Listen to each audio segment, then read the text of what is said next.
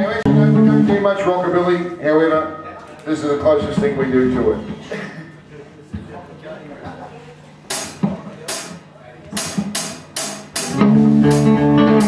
it.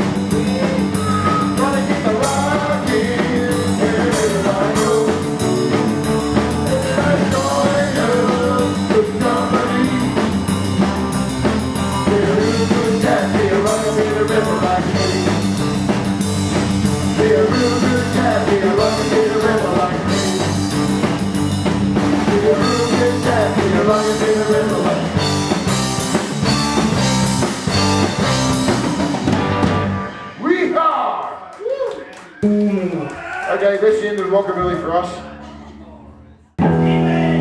One, two,